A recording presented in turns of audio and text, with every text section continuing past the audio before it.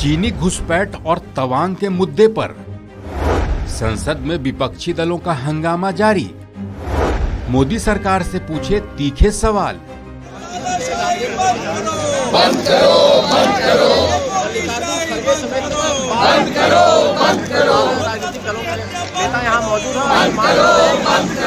ये नारेबाजी है मोदी सरकार के खिलाफ। ये विरोध प्रदर्शन है कांग्रेस का, जिसमें सोनिया गांधी, मल्लिकार्जुन खड़गे समेत दूसरे दलों के नेता भी शामिल हैं।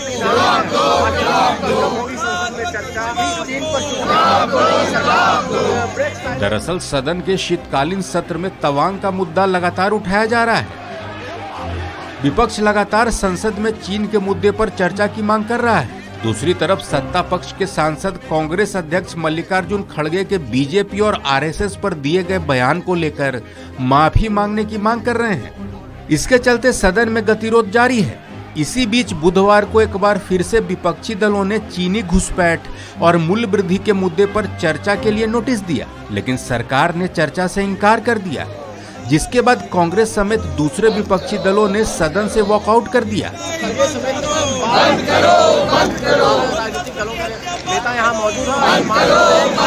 बड़ी बात यह है कि तवांग के मुद्दे पर सदन में चर्चा की मांग के बीच सत्ता पक्ष और विपक्ष के बीच हंगामा हो रहा है। कांग्रेस सांसद शशि थरूर के मुताबिक सरकार को सदन में सच्चाई ज़रूर बतानी चाहिए। No, the Indian Army, there's no question of insulting. We are uh, courage of the uh, of the uh, of the Indian Army, the risks they have taken to stand up for our security, and the amazing work they have done. Even very recently, last week, in the Tawang incident in Yangtze, it was the Indian Army that gave the uh, Chinese infiltrators a bloody nose and sent them away. So I don't think that there is any question of criticizing the army. The question is about the political leadership of the country.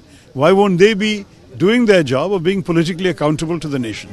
दूसरी तरफ़ JDU सांसद ललन सिंह ने भी केंद्र की मोदी सरकार पर बड़ा हमला किया है। ललन सिंह ने कहा है कि चीन लगातार घुसपैठ कर रहा है और मोदी सरकार देश से सच्चाई छिपाने में जुटी है। सबसे बड़ी मांग, कोई मांग नहीं है। मांग एक ही है कि चाइना के घुसपैठ की सूचना मिल रही है हिंदुस्तानी बॉर्डर में। सदन सर्वोच्च है।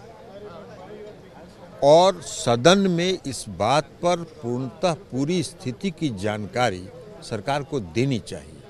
सरकार क्यों उससे भाग रही है? और अगर सरकार उस पर चर्चा कराने में कोई एतराज़ क्यों है? और अगर कोई एतराज़ है तो इसका मतलब है कि दाल में कुछ काला है। इसलिए सरकार चर्चा नहीं करना चाहती। हम लोग की मांग है कि सरकार इस पर जवाब दे, बताए और उस पर चर्चा हो।